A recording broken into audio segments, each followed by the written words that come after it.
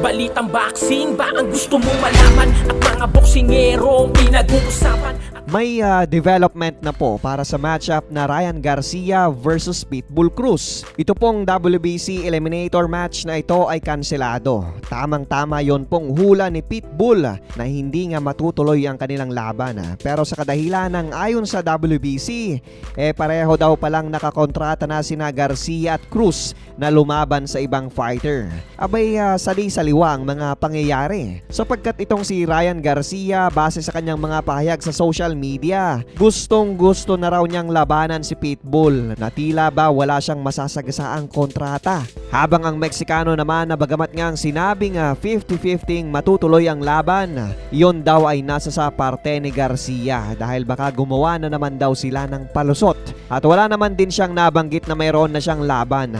Matatandaan din na sinabi niyang bukod kay Ryan, ang dalawa pang gusto niyang makaharap ay sina Devin Haney at George Cambosos Jr.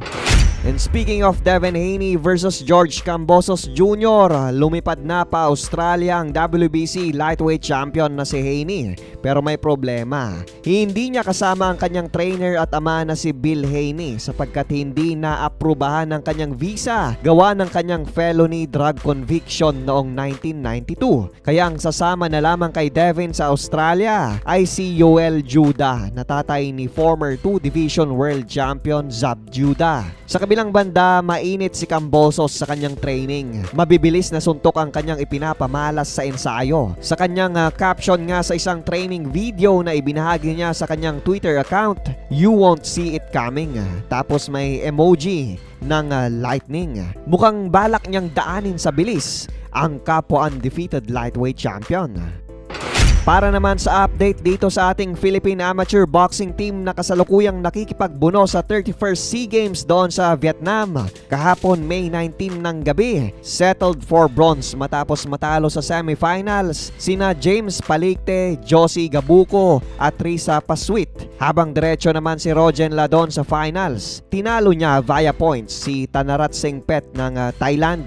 Nasecure na rin ni Yumir Marshall ang kanyang spot sa finals. Tinalo niya via second round stoppage ang isa pang pambato ng Thailand na si Perapat Yesong Nguyen. Hindi man na bumagsak pero sapat na ang kaliwat kanang solid punches na tumama sa kalaban ah, para siya ay ah, ilang beses mabigyan ng standing 8 count. Makikita rin sa footage ng laban na mismong corner na ng Thai fighter ang naghagis ng puting tuwalya ng kasalukuyang nagbibilang pa ang referee.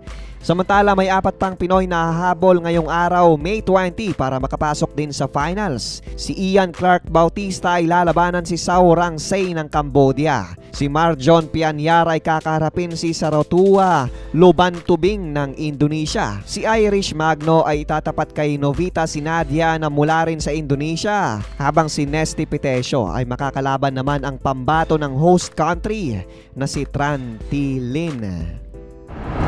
Prodigy, balitang Pinoy, Pinoy boxing prodigy